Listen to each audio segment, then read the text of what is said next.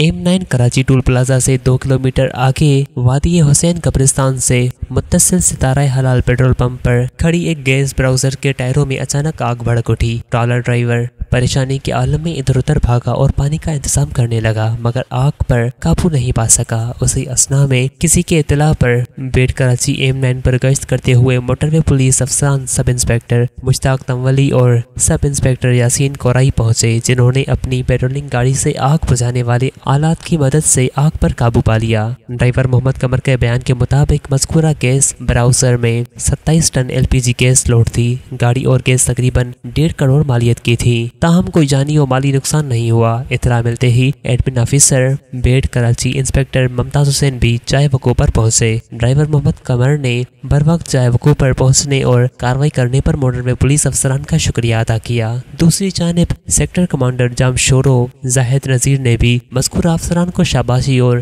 तारीफी असनात देने का ऐलान किया है